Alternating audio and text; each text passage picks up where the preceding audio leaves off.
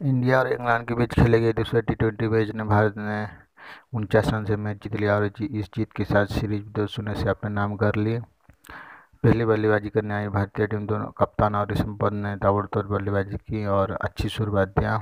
लेकिन इस अच्छी शुरुआत के बावजूद भी भारतीय मिडिल ऑर्डर पूरी लड़खड़ा गई और अंत में रविंद्र जडेजा ने कुछ अच्छे शट खेले, जिसमें शानदार छियालीस रन के छियालीस रन बनाए और इस राजस्थान के बदौलत भारत का स्कोर 170 रन जा पहुँचा।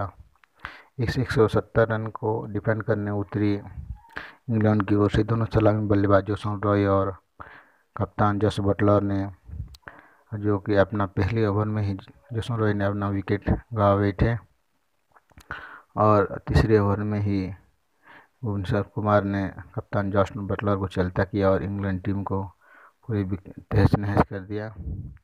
और उसके बाद कोई भी इंग्लिश बल्लेबाज क्रीज पर ज़्यादा देर तक नहीं टिक पाया और एक सौ इक्कीस रन पर ऑल आउट हो गया। So thank you so much video देखने के लिए वीडियो अच्छी लगी तो लाइक कीजिए चैनल में तो स्पोर्ट इंडिया यूट्यूब चैनल को सब्सक्राइब ज़रूर कीजिएगा।